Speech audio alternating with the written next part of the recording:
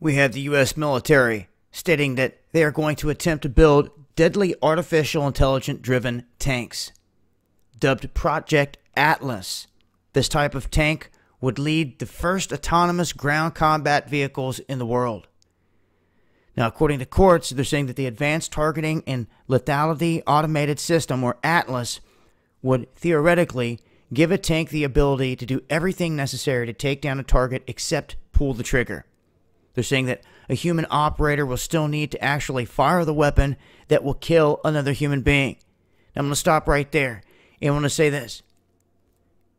That is the framework, the legality part of them rolling this out on the world stage right now so people don't complain and argue. I also want to remind folks that here recently with AI, different forms and variations have been tricking their developers.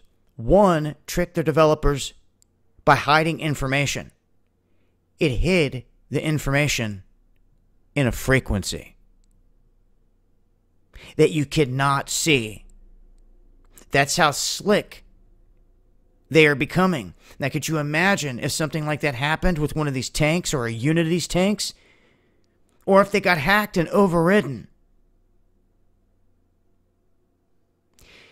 They're saying that human control is behind firing the weapon, but I'm here to tell you at some point down the road, there's going to be someone that overrides that somehow, some way with technology at some point in time.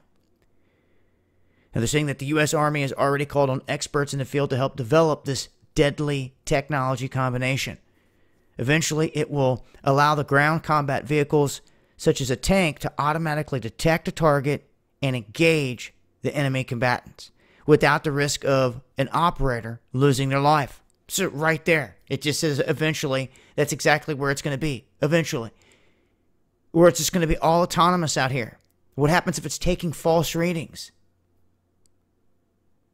They're saying the U.S. with support from contractors like Boeing, and I'm sure other countries out there contracted like DARPA, are going to be involved in this. So you remember the name of all these companies, ladies and gentlemen, because it's going to be the same companies that are producing the same technologies that are going to be deployed everywhere in the end. And you're even going to see them crisscrossing the skies of this country in terms of drones in the future. I'm going to leave a link. I'm going to continue to update as I come across more, as I always do. Make sure to follow me on Twitter. This has been Dahboo7. Much love.